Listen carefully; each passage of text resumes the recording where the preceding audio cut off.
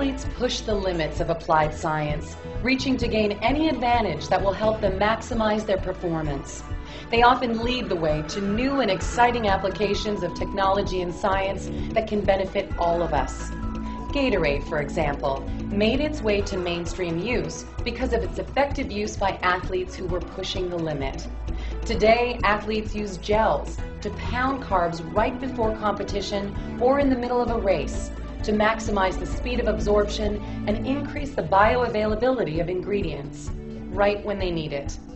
What if anyone could pound nutritional supplements in the same way when it's most convenient for them? Could a highly accessible delivery system like the one athletes use be versatile enough to work with other consumable products? The answer to this question launched a powerful new delivery mechanism called suspension gel technology. Suspension gel technology is a patent pending, state of the art science used to suspend nutrition in a gel. There are two key factors that influence the efficacy of any nutritional supplement the timing of the ingestion and the availability of the nutrients. The Agel system facilitates the proper timing of ingestion of the nutrient and forces the critical nutrients to remain suspended in gel thus optimizing the availability of those nutrients when ingested, which then enhances its overall absorption and use.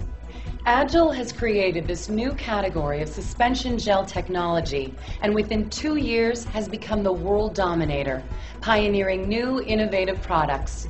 The rocket ship ride of technological innovation means we get what we need faster and with more control over how we use it.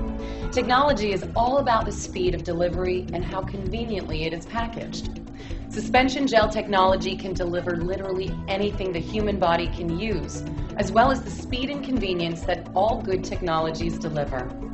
Whatever your body needs, gel can get it to you faster, more accurately, and with more control and convenience.